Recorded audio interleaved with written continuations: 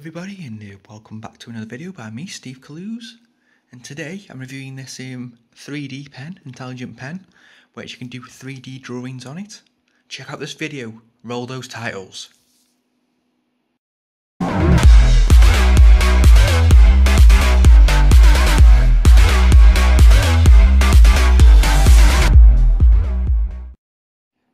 Right now this is the 3D pen, um, you can buy this on Amazon for around 30 to 40 pounds.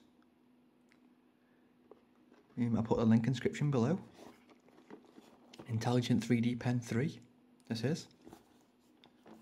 Um, inside the box, you get the pen itself. Um, they come in different colours as well. You can get different colour pens. Um, it also gets some plastic um, but you only, you only got to get two. Um, so you probably need some more if you wanted to do something, a bigger project with this 3D pen. Um, you get the wall charger. It's got USB there, it plugs in USB. And there's the, the USB cable. USB, then you plug that into your pen. You get a stand which is good because it's got a sticky um, on there so you can just stick it on like that and put your pen in like so. It's quite good. Um, also get these. Not quite sure what they are for but there you go get these.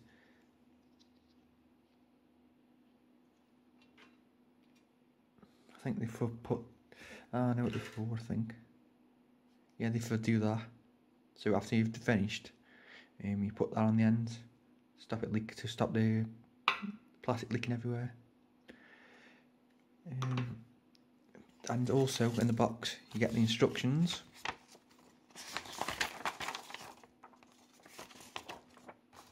It's telling you how to use it.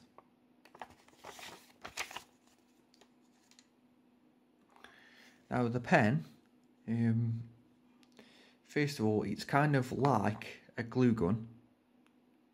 Basically, you have to wait till it warms up um, before you can use it. So basically, when, when you turn it on, um, it'll have an indicator here. When it turns green here, it means it's ready to use.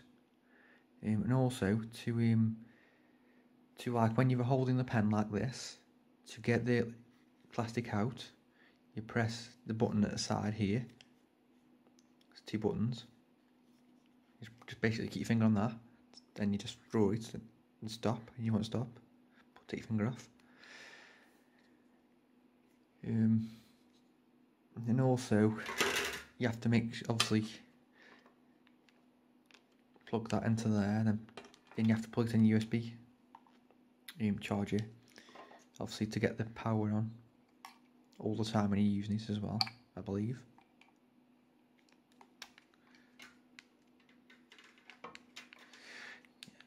Um, now, um, to get the stencils, say you're like me and you can't draw, um, you can actually print them off.